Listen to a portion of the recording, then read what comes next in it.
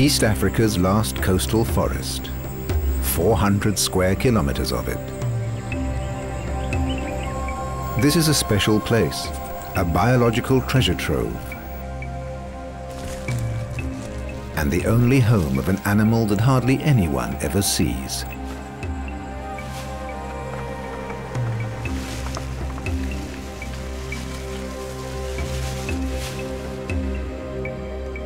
This secretive animal is the symbol of the struggle to save the forest.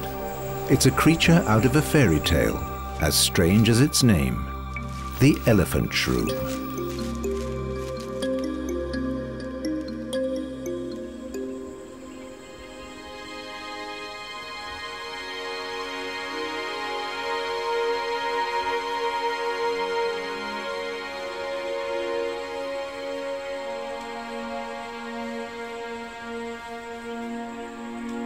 The Arabuko forest is a model for the protection of nature in Africa. The aim is for the local people to live off the forest without destroying it. It's quite a challenge. The forest starts on the coast of the Indian Ocean. Once it stretched all the way from Somalia to Mozambique. The last traces are found in Kenya in East Africa, north of Mombasa. Arabuko Sokoke, the shadow forest of the elephants and of their miniature cousins. One man here watches over all the living things in the forest. Willie Kombe grew up at the edge of the forest and today he's a ranger. He's fascinated by all forms of life, even a hermit crab found far inland.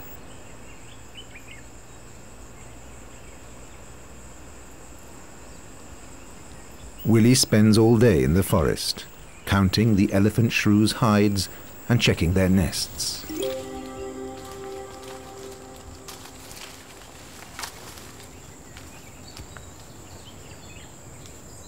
A pile of leaves like this is the overnight camp of one of these shy creatures. The number of nests indicates the number of animals. I feel very comfortable. I feel like I'm in heaven. I really enjoy it. It's so cool. You really feel that you are in nature. Yeah, with the birds' songs, all the noise that you hear. Really nice for me. And what Willie likes best is the beast with a rat's tail, as big as a rabbit, with its golden hindquarters. Plus, of course, an elephant's trunk. It's all a bit of a puzzle for zoologists and classifiers. In fact, elephant shrews have their own category. Because they're neither elephants nor shrews, they're nowadays known by their African name, Sengi.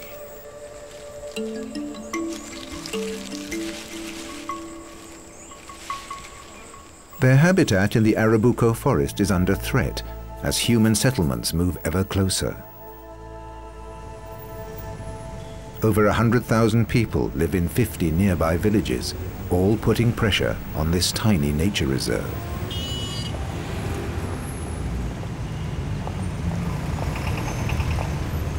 Many of the people are poor. That means they depend on the forest for food, medicine, fresh water and firewood.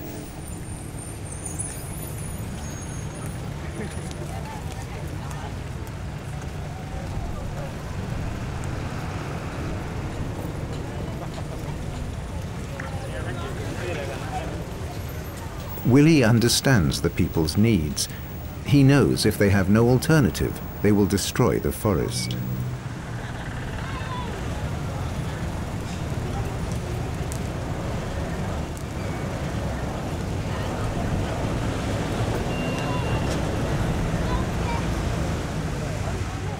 On the other side of the forest, the Giriama tribe have kept a very different way of life. It's much more traditional.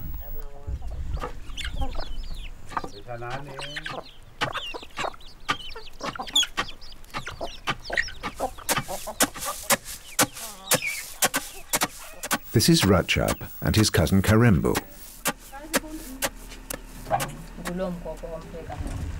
Karembo is 12. She's preparing the dinner. She has to lend a hand at home. That doesn't leave too much time for homework and school books. And the family can't afford to send her to secondary school.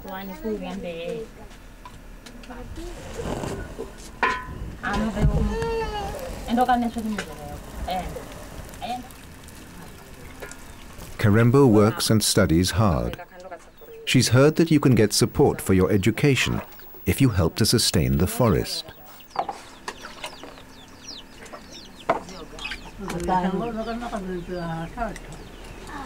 But like many of the people here, Karembo doesn't know a lot about the forest and the animals that live in it.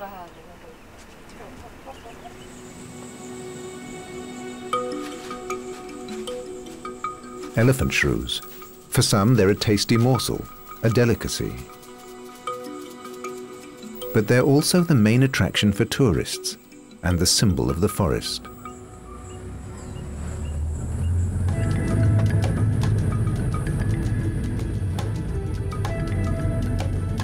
A few thousand tourists come on safari every year, bringing with them much needed hard currency.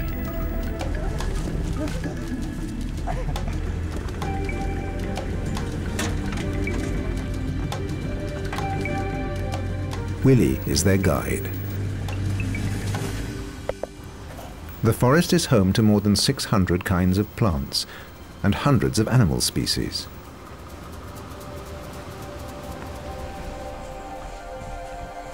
Kenya has made the Arabuko a national park. It's a hotspot of biological diversity, a World Natural Heritage Site. Even though most visitors never get to see a sengi face to face, the other small forest creatures have a magic of their own.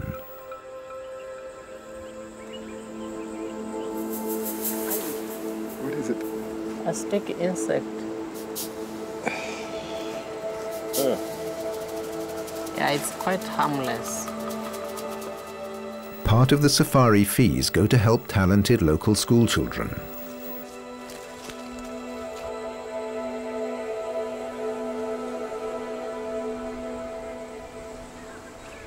Willie often comes to this school at the edge of the forest to share his knowledge about the jungle and to promote its symbol. Do you see this? This animal is very famous. Uh, in Arabuko Sokoke, it's the only place that is seen. It uses this long snout. Rajab and Karembo want to learn all they can about the forest. If they come top of the class, they can win a scholarship, financed by income from projects in the national park. And Willie is only too pleased to help them learn.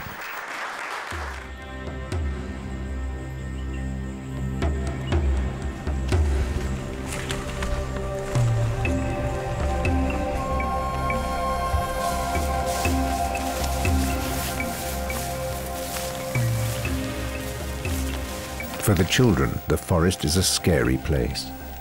It's where the spirits of their ancestors live.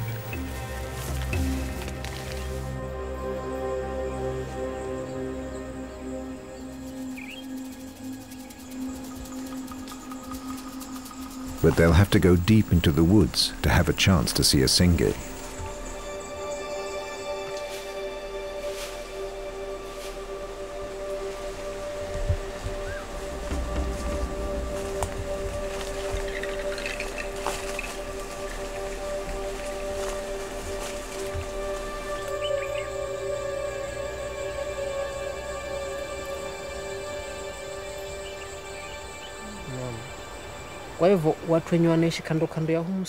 Willie introduces them to the songs of the forest birds. na kuuza na kupata pesa za kujisaidia. Karibuni, fanyeni. Mhm, ni hivyo kabisa, halafu anapiga mbiu.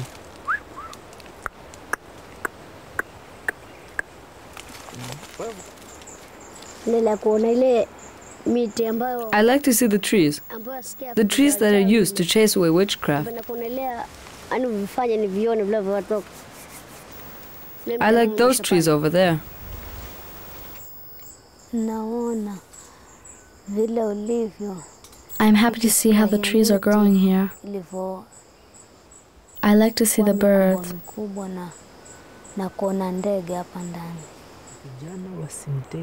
Willie explains to the children how an elephant shrew behaves.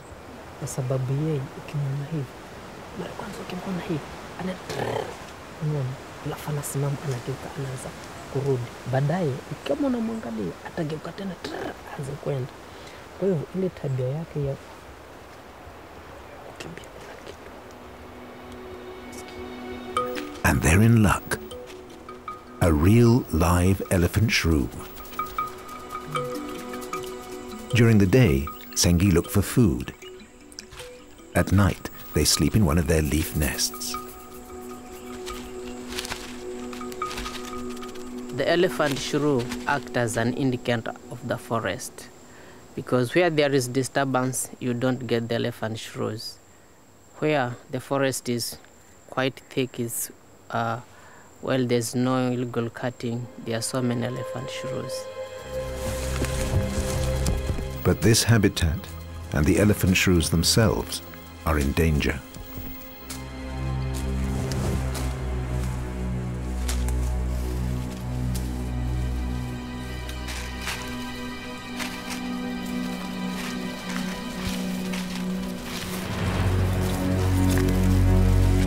In spite of all the rangers' efforts, there are plenty of poachers around. Some are simply hungry, but others are in the lucrative bushmeat trade. Setting traps is illegal.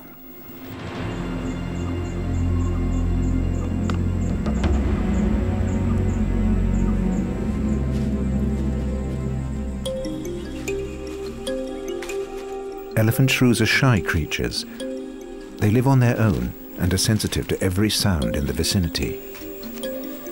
And they use their trunk to sniff out worms and beetles in the undergrowth.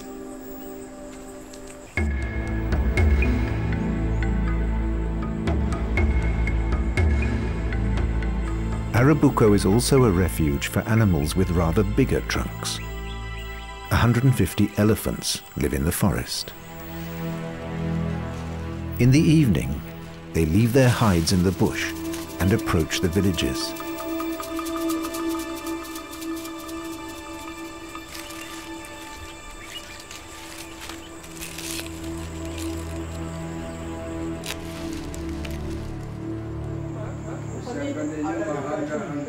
The rangers are here to protect the forest from humans, but also the other way round. They're on duty through the night.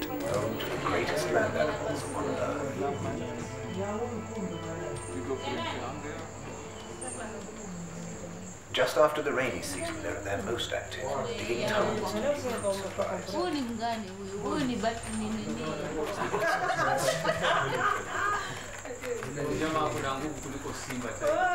Tonight, everything seems calm. But suddenly,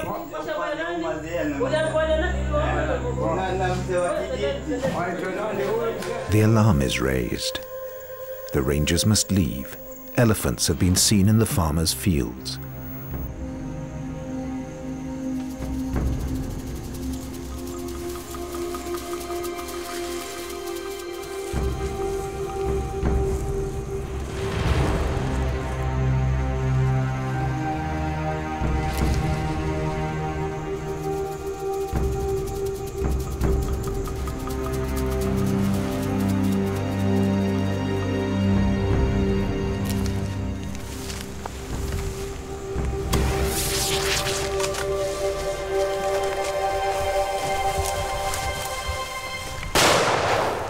Mustn't hurt them, just frighten them away.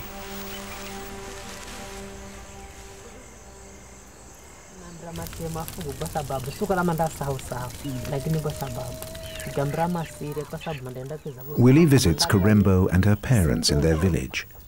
Karembo's cousin Rajab is there too.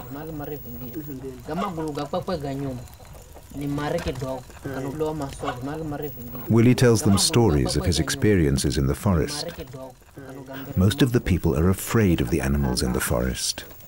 mana kirago mabo rinagira There's a special legend about the elephant shrew. karoka ino kaupule apa If a pregnant woman eats one, she will have forgetful children. The idea comes from the shrew's flight behavior. When it's frightened, it runs forward a few steps and then stops, as though it's forgotten why it's running away. It starts and stops.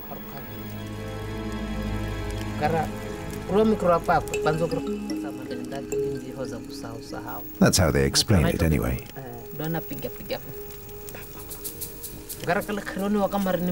Rajab and Karembo learn a lot from Willie about their magic forest. It's useful information, not least for school.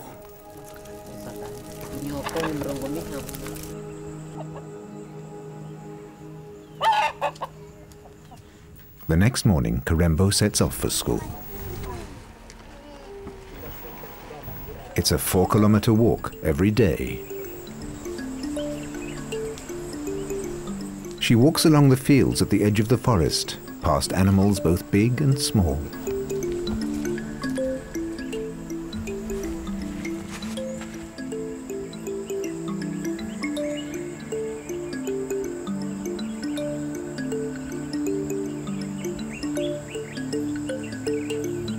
The children have to watch out for the elephants when they come close to the plantations.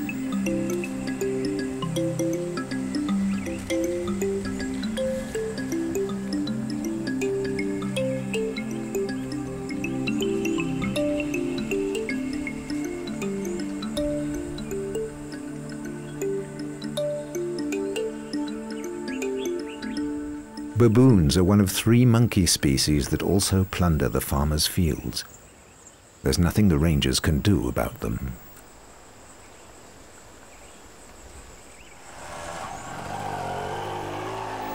But they can combat the other animals threatening the villages and their fields.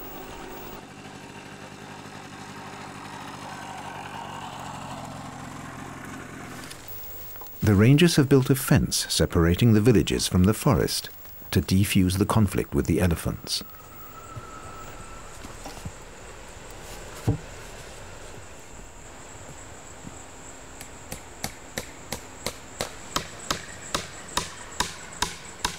The fence doesn't quite surround the national park. There are still points where an elephant can cross to meet other elephants outside the park. Elephants are nomadic, and they're strictly protected in Kenya. The fence must be regularly checked. Elephants are quite capable of knocking it down.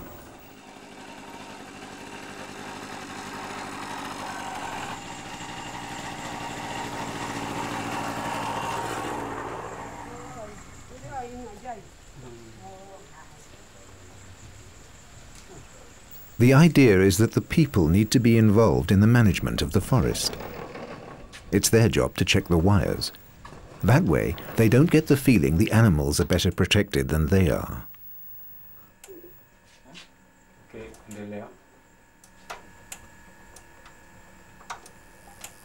Thanks to the electric fence, the fearsome jumbos are now respected neighbors. Village elder Nelly Katana is enthusiastic. I like them. I like to see them pass at a safe distance, and I admire them. But when they come nearer and destroy, no, no. We like them now, but we didn't before because they used to cause such havoc. When they came and damaged our property, we didn't like them at all. I used to say they should all be killed. But now. I like them. A new image, the result of conflict management.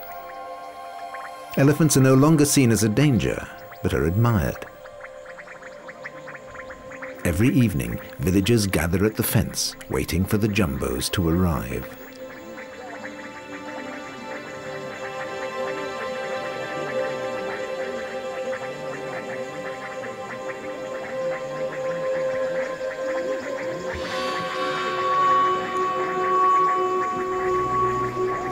They only come out of the bush when it's getting really dark.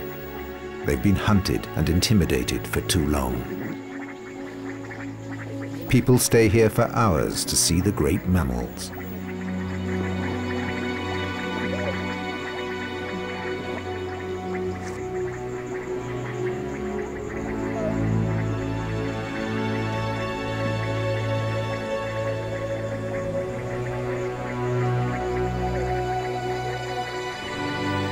The elephants of the Arabuko forest are a little smaller than those of the savannah. They've adapted to the bush. But that other animal with a proboscis is much smaller still. Though they may be called elephant shrews, they're not related to shrews and only distantly to elephants and sea cows. At least that's what zoologists think.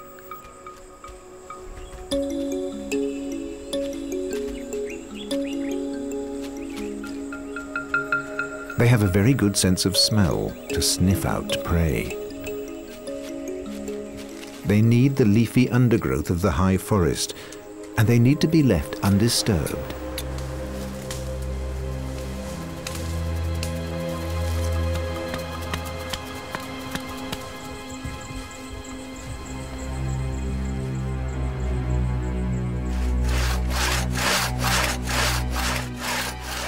Sengis are threatened by the loss of their habitat.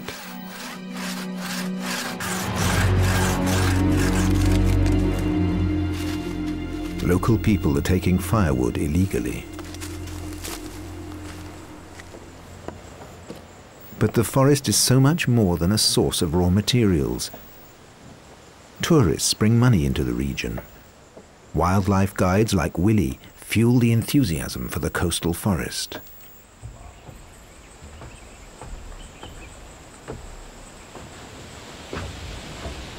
So down there, this is one of the seasonal ponds that If they're lucky, visitors will get to see the hippos.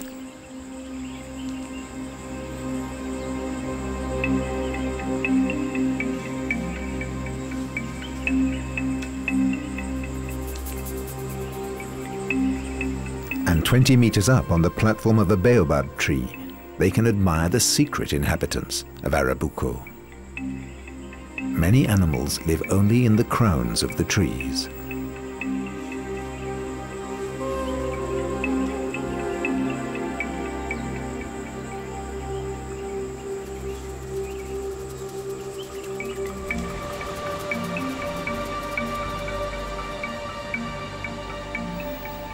The forest begins at the sea, more than 20 kilometers away. This tidal coast has plenty of fish and attracts birds in their thousands.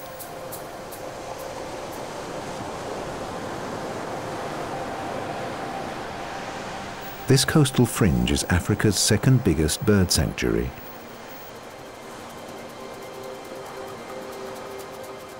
Where the sea becomes land, mangrove saplings mark the beginning of the forest.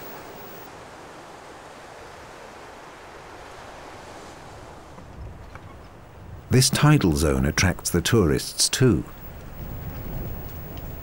The locals have built an observation platform. Entry fees from the tourists help boost the local economy.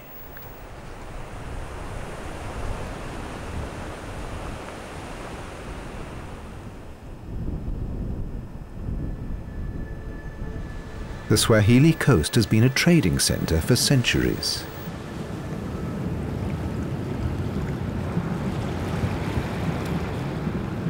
Spices and porcelain came from Arabia, India, and China. The forest yielded ivory, animal skins, and wood in exchange. In those days, the coast and the forest could sustain a flourishing population.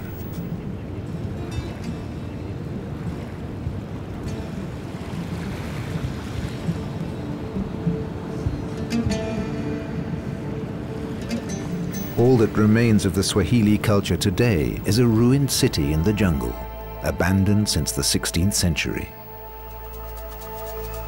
No one knows why people left this magic place.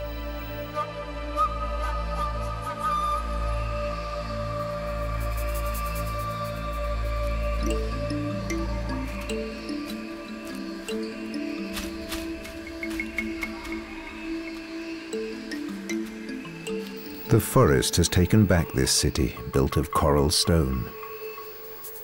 Now it looks like a backdrop for the Jungle Book. And just as in the book, it has new inhabitants.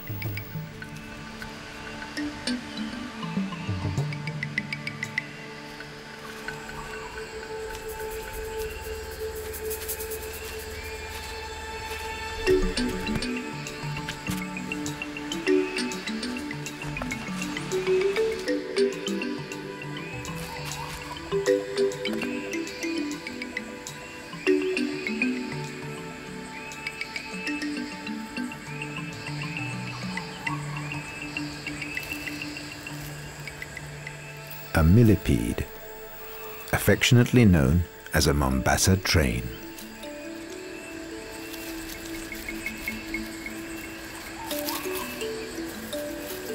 Sengis have sharp teeth to break through its hard carapace.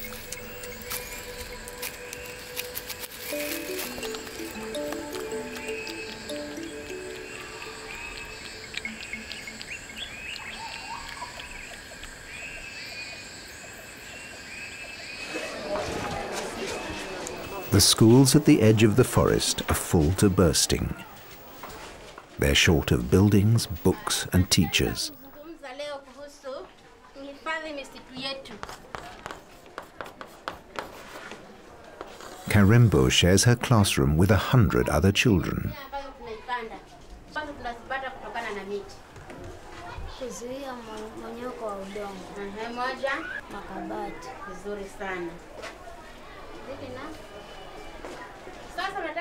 Karembo works hard.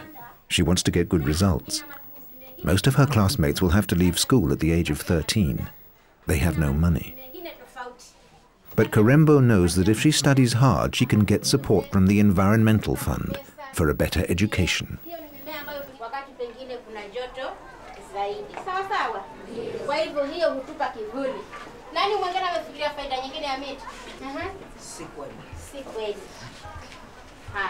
Ever since she saw an elephant shrew for the first time, she's been a fan. She just thinks they're funny.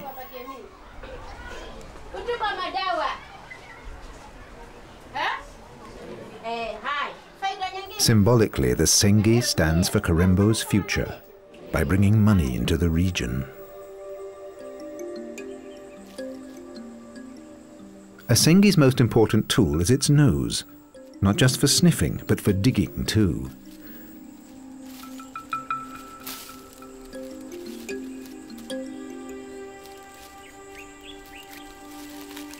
It marks its territory with urine. A second elephant shrew would not be tolerated outside the mating season.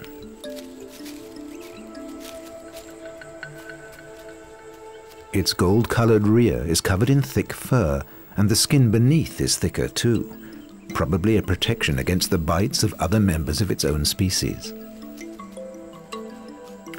The forest doesn't belong just to the elephant shrew. Recently, there have been unusual interlopers in its territory.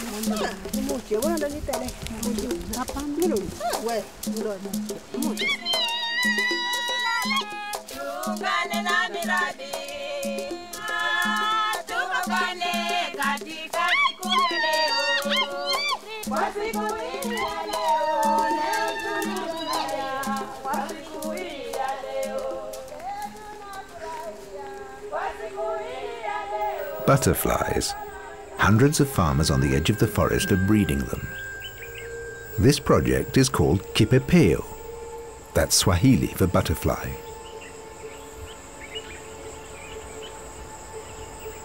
The farmers know every species and their needs.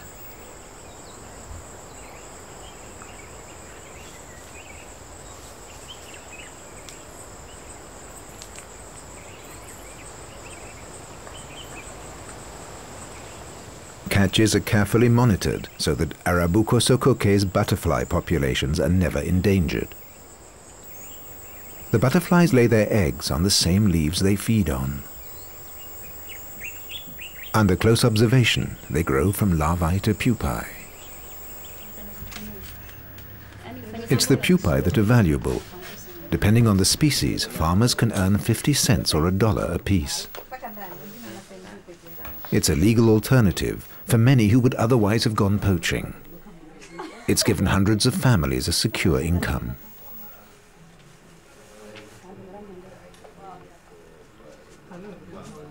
The butterflies are shipped to butterfly farms in Europe and America because they can't be bred there. These pupae have just a few days to reach their destination.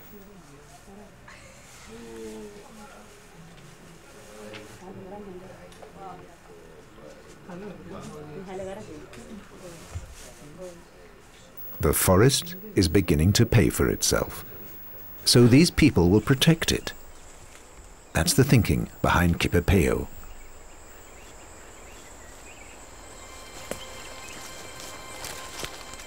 But this forest is still a self-service store for the people who live here. Poachers kill about 15,000 animals a year.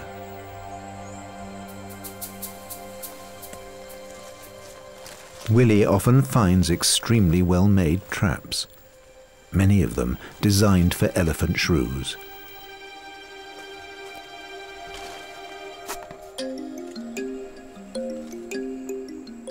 When he finds a trap, he destroys it to protect the Sengi.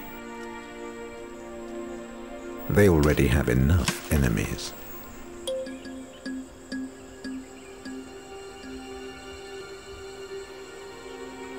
Like the puff adder.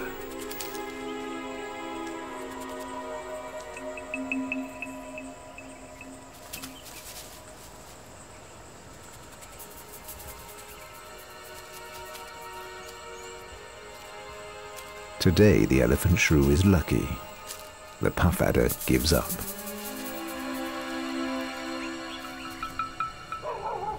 Here at the snake farm at the edge of the forest, the poisonous puff adder is highly valued and treated with respect.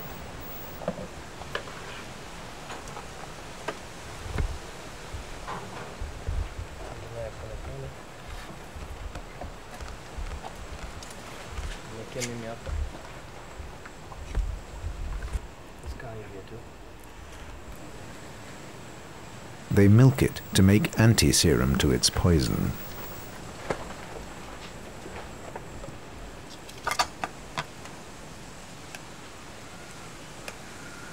The puff adder is responsible for 90% of deaths from snake bites in this region.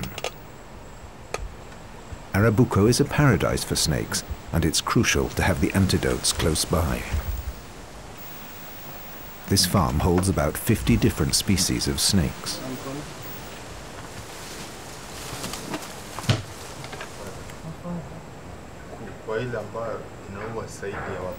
They're an attraction to the children of the forest, as long as they stay in their cages. The children only know snakes as an invisible threat, but most snakes are harmless for people. It's all part of Karembo and Rajab's forest education.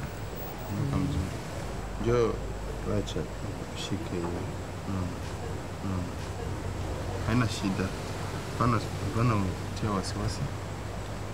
na nane hapo ndio mwisho. Bit by bit, Willie reveals to them the world on their doorstep. A world that's disappearing. Deciduous forests are rare in Kenya.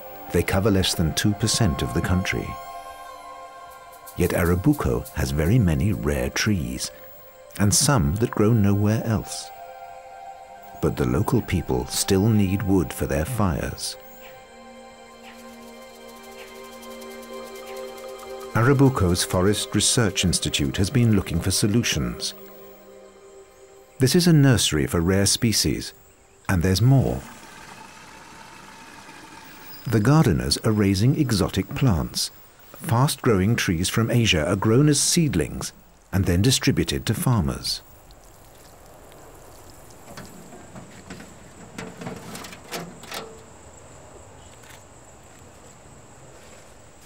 Seedlings of hope that the trees in the forest may be left alone.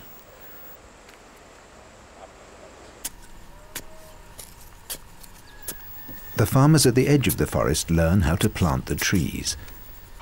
Karembo's father is one of them.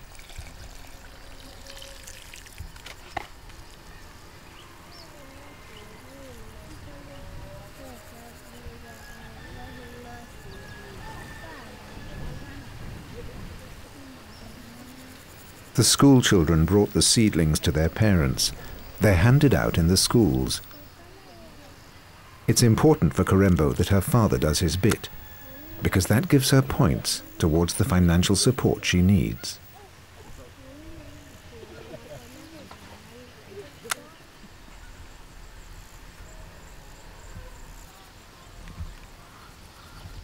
In six years' time, this delicate plant will be big enough to use as wood for building.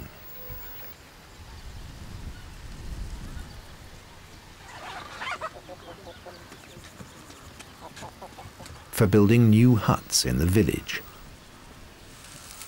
That means Karembo's father won't have to go into the woods to cut down trees. And the elephant shrew's territory will remain undisturbed.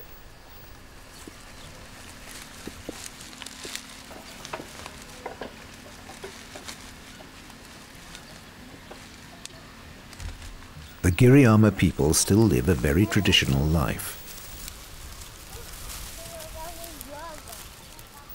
When they're ill, they go to the medicine man rather than the hospital. And his medicine often comes from Arabuko's green pharmacy, the forest itself.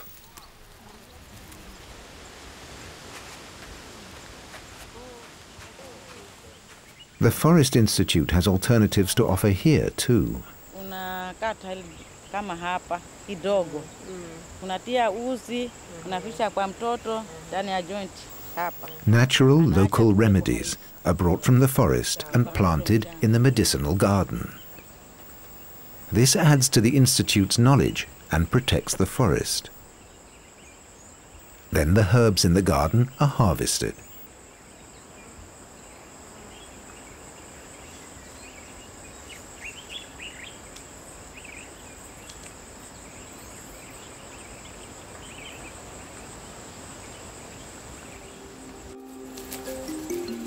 And the Sengi benefits too when no humans come into his domain. The less the forest is disturbed, the happier he is. He doesn't like change at all.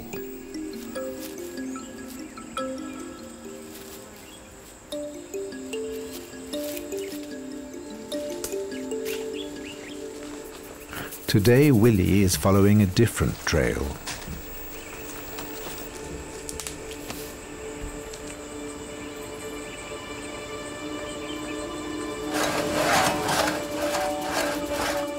Sometimes he gets very close to the illegal woodcutters.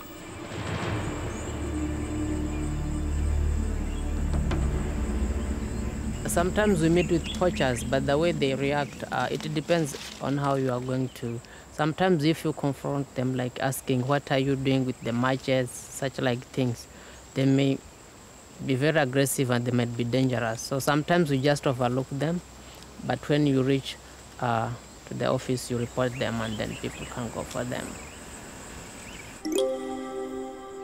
Willie reports his sightings at the headquarters of the Kenya Wildlife Service.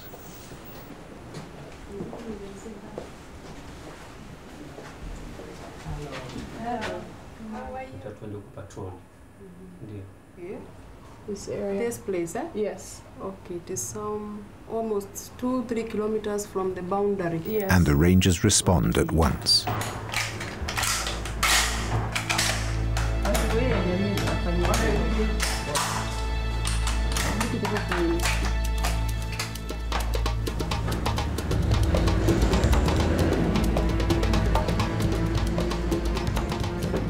It can be a dangerous mission. Poachers are often armed with machetes or bows and arrows.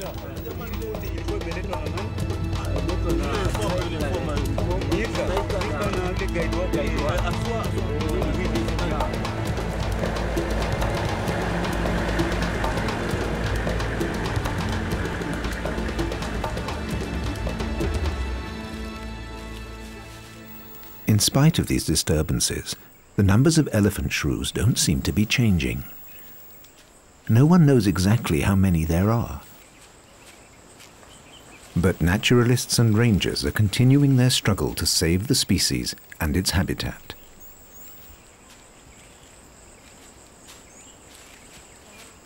There's hope yet for the spirit of the forest.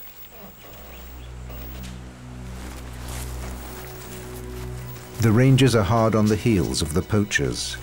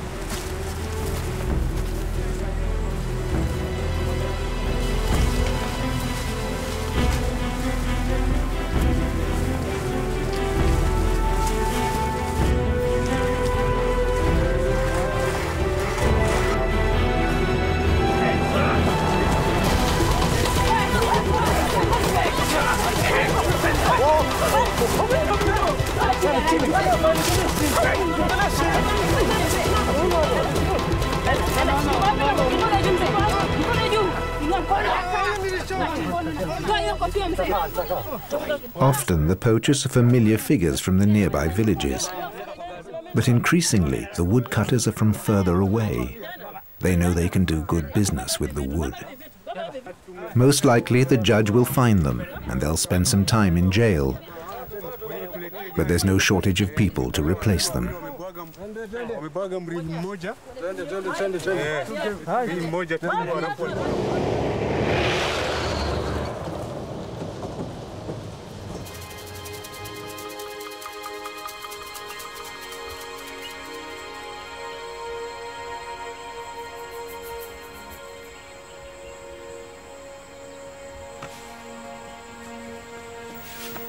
At the edge of the forest, some of the children are getting ready for a special day.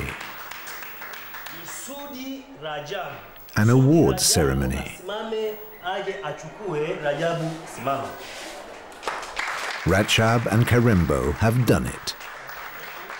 Thanks to their good marks, they will receive money to go on to the next class.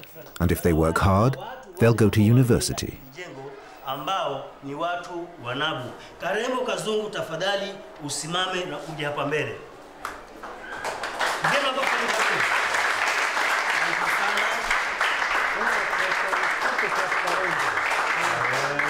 Darubini, uitunze. Sasa tena. Haya, karibu. Basi uje yule wa kwanza. Zawadi hizi zitapewanwa na mwalimu wao wa somo la science ambaye Willie's Tours and other nature protection projects have already brought in enough money to build this permanent schoolroom and to provide hundreds of school children with a better education.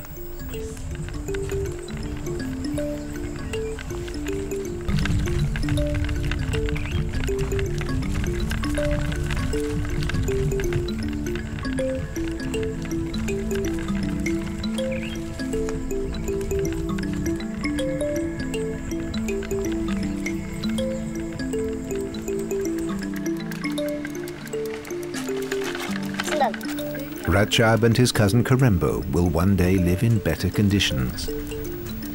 The forest and its attractions for tourists will make that possible.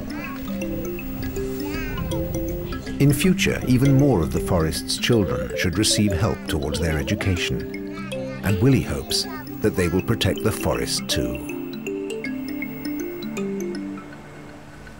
Mimi napenda nikimaliza masomo When I grow up, I would like to be a doctor.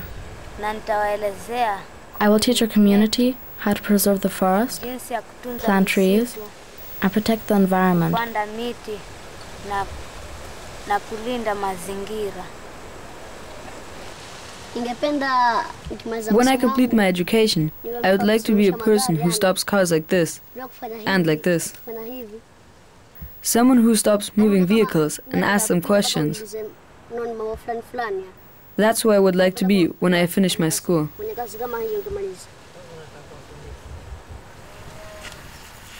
In the holidays, the children often go into the forest.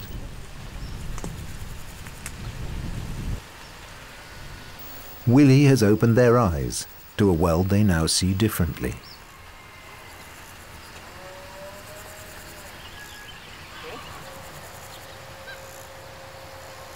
Willie is in the forest every day.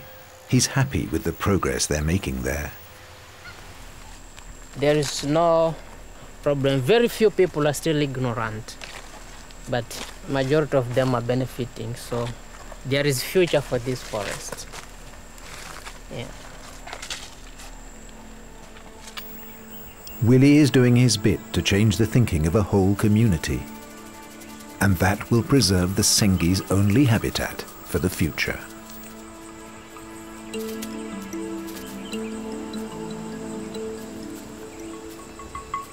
There's something new in the shrews' lives. It's the mating season in this territory. They approach each other very cautiously.